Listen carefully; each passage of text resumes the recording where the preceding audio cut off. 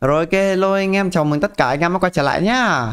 Trong video lần trước là tôi đã thành công đánh thắng cướp dân làng và nhận được huy hiệu người hùng của dân làng. Nên là trong tập hôm nay tôi đã tận dụng cái huy hiệu này để có được bộ giáp mạnh nhất game anh em nhé. Huy hiệu của tôi chỉ có 18 phút thôi. Nên là giờ chúng ta phải thật nhanh chóng anh em ạ. Kế hoạch của tôi là thế này. Tôi sẽ bắt tất cả những dân làng chưa có nghề trong doanh trại của tôi phải làm sách. Để tôi tìm những quyển sách ở bộ giáp của tôi còn thiếu.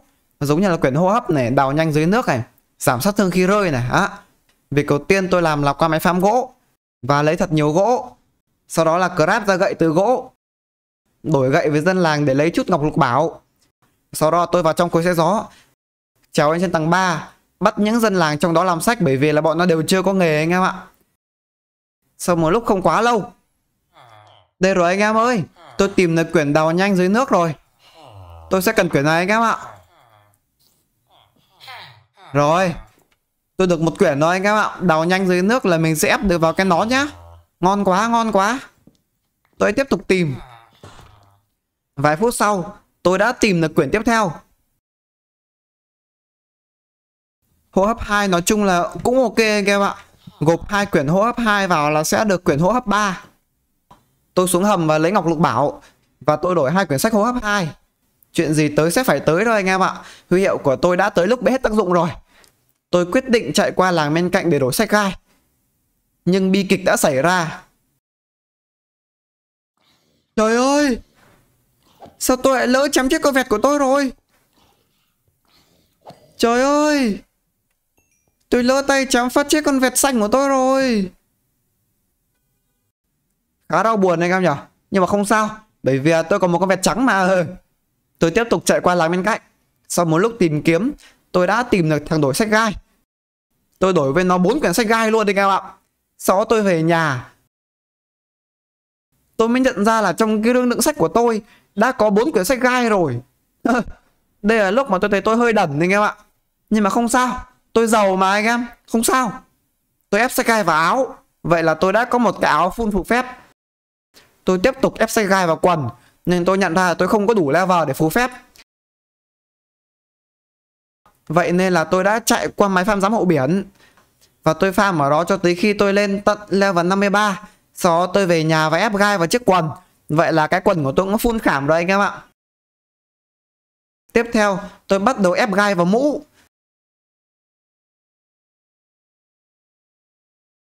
Vậy nhưng khi mà tôi định ép đầu nhanh dưới nước vào mũ, Tôi nhận ra là mình thiếu level.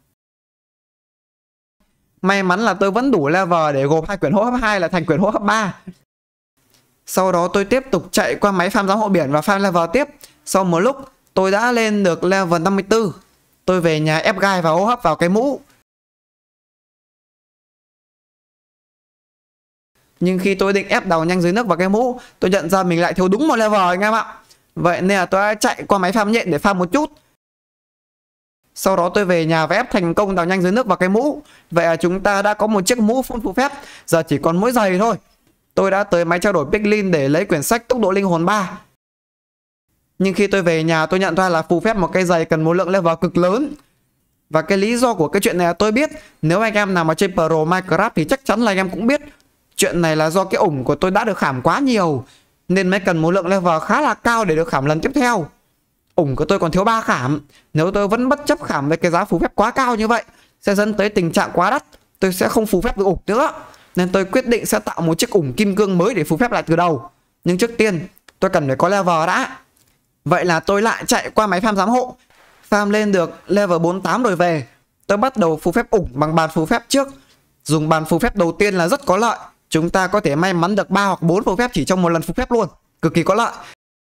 Sau một lúc Tôi đã rất may mắn có được 3 phù phép đều ở level mắc luôn. Tôi tiếp tục bằng việc ép tốc độ linh hồn và gai vào ủng. Sau đó tôi vào cuối xe gió, tiếp tục tìm quyển sách cuối cùng mà tôi chưa có, giảm sát thương khi rơi. Sau một hồi tìm khá lâu mà chưa được, tôi đi đổi gậy một chút để có tí level.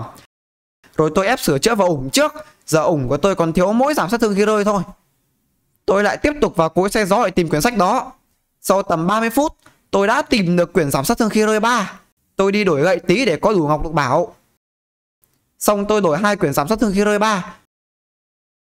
Tôi về nhà và gộp hai quyển đó lại thành giảm sát thương khi rơi 4 Tôi còn thiếu level để khảm quyển đó vào ủng Nên tôi chạy qua máy farm nhện để farm một chút Và cuối cùng thì tôi đã khảm được quyển giảm sát thương khi rơi 4 vào ủng Tôi đã có được một chiếc ủng full phù phép 7 phù phép tổng cộng luôn đấy Quá là tuyệt luôn anh em ạ Giáp full khảm rồi đấy, anh em nhá. Cái ủng này là có tổng cộng 7 khảm này, Full này Áo và quần có 4 thôi. Còn cái nón là có 6 khảm. Thanh kiếm mà tôi cũng full khảm luôn rồi. Tôi giờ tôi khá là bá đạo đấy, anh em ạ. Ok, anh em ạ. Cái tập này của tôi tốn rất là nhiều thời gian và công sức. Nên là nếu mà anh em mà thích cái tập này, Thì đừng quên đăng ký và cho tôi một like, anh em nhé Ok, anh em. Video hôm nay tới đây thôi. Cảm ơn anh em rất là nhiều vì đã xem đến tận đây. Hẹn gặp lại anh em ở video lần sau nhá. Tôi yêu anh em rất là nhiều.